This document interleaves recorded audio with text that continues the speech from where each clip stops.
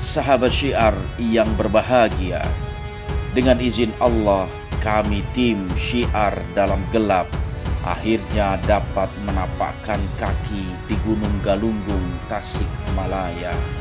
Pesona keindahan yang disuguhkan betul-betul membuat kami merasa kecil di antara makhluk ciptaan Allah. Ditambah dengan kesejukan udara dan hawa dingin yang menambah kami semakin bersyukur atas karunia-Nya. Yah di sinilah Rahyang Jaya Dharma atau Ki Jarot menghabiskan masa kecilnya bersama Sang Hyang Braja Dharma yang disebut sebagai pengasuh sekaligus gurunya. Kami mencoba untuk melakukan komunikasi dengan salah satu makhluk tua di tanah Jawa ini. Apa yang terjadi?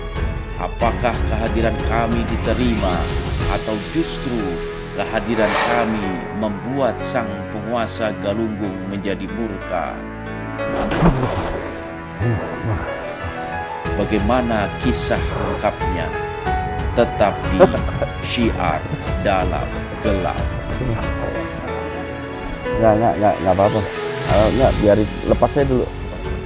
Biar Anda bisa fokus lagi. Iman, ilmu, dan amal kita. Tetap di siar dalam gelap.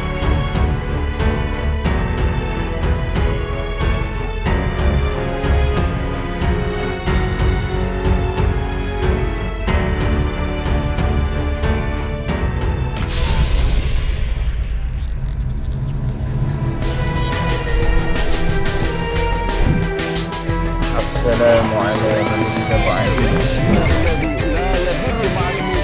Oleh sebab itu, jaga terus iman, ilmu, dan amal kita.